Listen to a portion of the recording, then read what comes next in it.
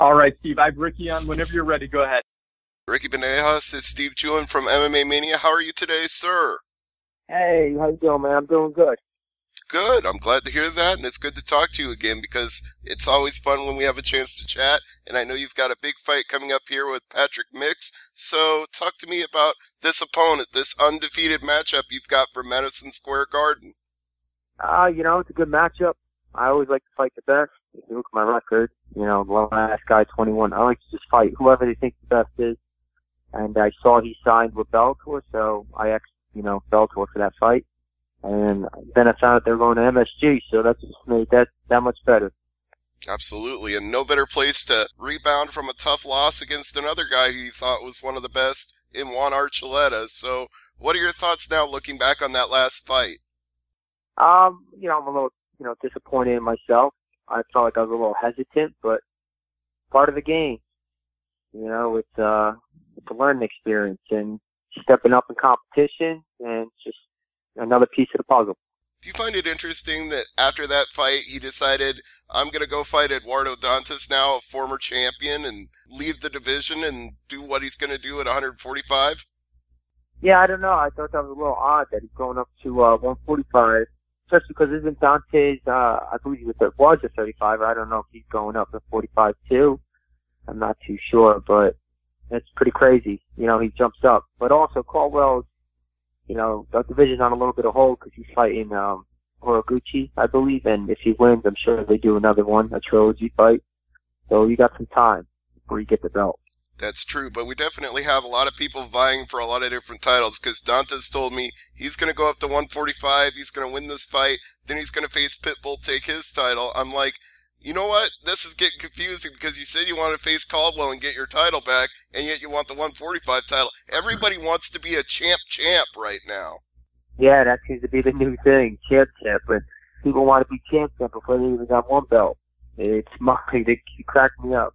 That's so true. So you're staying focused right here at 135, and you got a very tough guy who, as you said, just signed with Bellator. It seemed like he really wanted to go to UFC from what I read about him, but apparently he thought Bellator was a better home, and you already know that for yourself. Yeah, mm-hmm. you know, 10 0, it looks like he he went the same route. You know, um, I heard that UFC didn't want him because you know, for whatever UFC always has a reason, but now he's over in Bellator, and it, it only helps us. It's growth the division, and it's another young and up and coming star for uh, you know somebody to match up with. So you said when you signed this fight, you didn't know it was going to be at Madison Square Garden?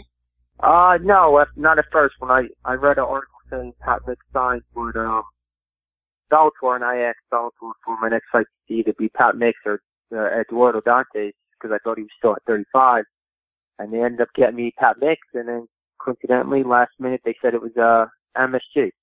Well, that's awesome. I'm glad it worked out for you that way. What are your thoughts on getting to fight in such a famous venue for combat sports? It's awesome, you know, for all fighters. It's like uh, the Mecca, Mecca arena to fight at, let alone MMA because it's recently allowed there. And then on top of it, me being from New Jersey, you know, tri-state, it's uh, definitely an honor. At such a venue close to home, you're going to have a whole lot of family, friends, and support there. Yeah, absolutely. Easily, easily 300 people just for me, you know, 300 t-shirts out there saying Bandejas.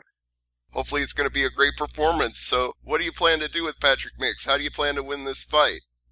Uh, just fight him like I did, you know, everybody else except unlike Archuleta, I would like to have a little more volume, you know, more numbers of the punches and kicks, but come forward, push the pace, keep the cardio up, and I know he's looking to take me down, so just stuff the takedown.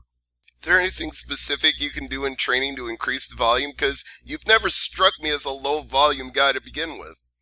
Um, I don't think so. Uh, you know, I didn't think so either, but uh, I was so sort of fight. Maybe it was just that fight or his style, but something that night made me throw, you know, not as much as I should. I feel like if I would have thrown, you know, a good 10, 12 more punches each round, I definitely would have got the win. So I'm just keeping tab on sparring. You know, if I feel like I'm laying back a little bit, or if my coach got to has a couple codes now to, you know, to get the hands going a little more. So it's become a very analytical thing. Then you like take the five minutes and copy, strike it out, and look at how many threw around, and you go, "That's not enough." Absolutely, especially my coach. You know, he's out on the outside keeping count and keeping a look at it, and, and you know, like I said, he has a couple code words to uh, turn up the pace. That's awesome. So, with the coaching, with the training, how is everything coming together? How's your weight? I know it's just a week away now, so you're probably pretty close. Yeah, it's going great. You know, it's, uh, it's on track the way it is every fight. Uh, training went awesome. You know, had great, great rounds, great wrestling. Just everything's going good. Perfect. Body's nice, healed, not hurt, and I'm just looking forward to getting in there. So with this, get back in that win column.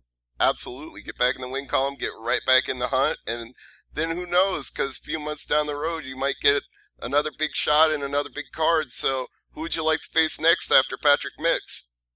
I wouldn't mind fighting Ritter again. You know, getting a rematch. I definitely uh like to get the win. I'm very uh, competitive, and he's uh you know he's 21 and one, uh, 22 and one now. So definitely would like to get that fight back. Mm-hmm. Do you think if he win, if he wins the fight on this card and you win the fight on this card and you two rematch, is the winner of that fight the number one contender? I don't. Um, I think if he beats Dantas now, he's the number one contender. I thought he was number one contender by just beating me, but now if he beats Eduardo Dantas, who just fought for the title not too long ago at 35, he beats him. I think Archuleta's in a good spot. But like I said, it depends on McCall though. So I think if he wins, they're going to do another match. So you got to wait, and when you wait, you don't get paid. So it's a sticky situation. That's so true. But since you mentioned Caldwell a couple of times, I do want your thoughts on that Caldwell Horiguchi fight. Obviously, things went very awry for Darrion when he went over to Rizin and had that fight. How do you think he's going to do in this rematch? I think, you know, when I was watching the fight at Rizin, he, he looked like he was doing great. You know, he was definitely beating the guy up every round, getting the best in him. And then I guess he got caught. But I think now that it's in the cage, the takedowns are going to be easier. He's, he's really going to, I think he's going to beat him up.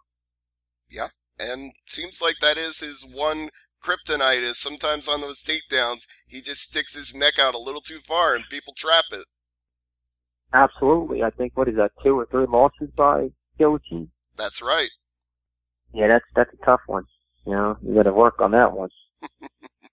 Has that ever happened to you while you've been sparring and training at something like that and you're like, oh shoot, I shouldn't have gone for a takedown there? Yeah, absolutely. It happened one of my fights. I think it was my first loss as a pro. I took a bad shot against a guy that all he has is the guillotine choke, and he ended up catching me. So I know that firsthand. yeah, sometimes we guys have that one specialty. That's all they need is you make one mistake and yeah. But that's a good thing about sometimes your... it's better be lucky than good yeah, sometimes. But I think that's a great thing about your style from the fights I've seen is you're not limited to just one specialty. It seems like you can do it everywhere. Yeah, absolutely. I'm comfortable on my feet, the ground. I'm comfortable on my back, on top of people. I just, I got finishes all over the board. So I'm, I'm definitely evolving as a, a mixed martial artist. Very true. Now, this card is also headlined by some legends in the sport Rory MacDonald taking on Neiman Gracie and Lyoto Machida taking on Chael Sonnen. What do you think of this stacked lineup they've got for this card? I think it's awesome. You know, it's nice to be part of history like this. Madison Square Garden, all these top guys, former elite UFC guys, best in the world. And even my last card, I was in um at the forum with you know Fedor, Bader, and all them guys. So definitely a privilege, a privilege to be on this card, and uh, I look forward to it it is a very nice progression. I've gone from seeing you in a very small venue in Sioux Falls to now you're headlining at big places like the Forum and the Garden. Yeah, it's awesome, man. It's crazy how life changes. You know, it changes fast, and uh, it's exciting. You know, I'm living living my dream. Indeed. Now, what other dreams do you have besides getting a title shot, getting a championship belt around your waist? What other things are there out there for you to accomplish in Bellator? And Bellator, man, I wouldn't mind, you know, getting that on winner win back, get a belt. Just like everybody else, double champ, you know. I'm just looking to succeed and get wins. Beat everybody. I would like to fight every week if I could. You know, those are my dreams. Is there a name in particular other than the ones that we've already talked about? Somebody you haven't faced that you really want? Uh, no, nobody. It doesn't. Like I always say, it doesn't matter. I like to fight. I like to stay active and, uh, I don't care if it's the worst guy or the best guy. You know, throw me a date and I'll be there. Mm-hmm. Now, when you say you want to have a fight every week, that just makes me think of Donald Cerrone, who coincidentally is fighting tomorrow. So, is that kind of somebody you aspire to be like in terms of how active you want to be? Yeah, absolutely. I would love to um, be exactly like him, you know, active like that. I think that guy just fought, what, a month ago, and then a month before that. I would Yeah. love that. I would love to be constantly in fight camp, you know. One, you make money, and two, I, I love to stay in shape. And not only that, but not only does he win and stay in shape by doing it that often, but he's getting a lot of fight bonuses and making a lot of money for his son. So yeah, taking care of his family too yeah, at the same cashing time. in for the family. hmm That's a good. Yes, absolutely. Well, but you know, what else can you ask for?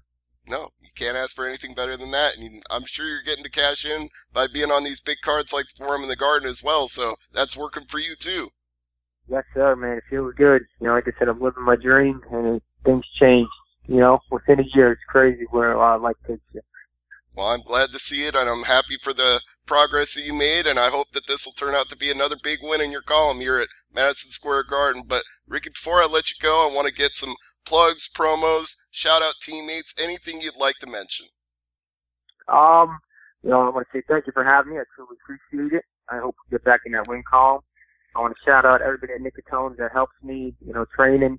I want to shout out Chloe Ledesma, Sean Santella, my buddy Sal, who was a big help. My sponsors, Current Recovery, Apex, Eat Clean, um, Justice Barbershop, and uh, I think that's about it. You know, other than that, my coach Nick Catone and everybody who supports me. That's awesome. I big shout out to them as well. Big shout out to Dan for putting together this interview today. And Ricky, I hope you have a great fight next Yeah. Friday at the Garden. Thank you. Enjoy your weekend, and uh, hopefully catch up soon.